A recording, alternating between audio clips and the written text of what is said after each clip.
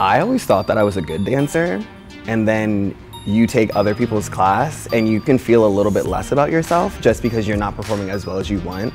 But that's when those anxieties are creeping in and you're getting worried for no reason when you're there to dance. So it taught me to take a step back and look at myself in the mirror and focus on that, focus on what I want to see.